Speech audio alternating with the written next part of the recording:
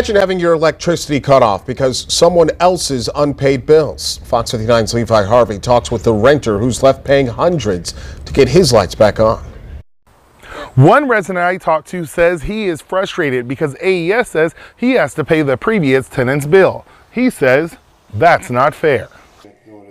An unexplainable electric bill for more than $700 has one renter on edge. Reno Beneveni is renting a home on the Far East Side. He says AES Indiana expects him to pay the previous tenant's bill in full for power to be restored. Reno Beneveni tells Fox 59 he moved into the home at the end of July. Beneveni says he had no clue about the previous tenant's unpaid balance until his lights were cut off on Tuesday. Any attempts to clear the issue with AES have been unsuccessful so far, and the landlord isn't getting involved. My landlord didn't live here. She just rents the place, so how is it her problem?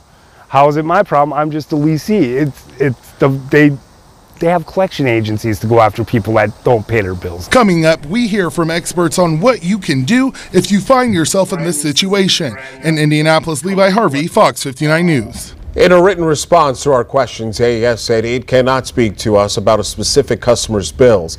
But AES does say the renter in our story is not responsible for a previous customer's bill. The utility did not address why he still doesn't have power, though. We'll continue pushing for those answers.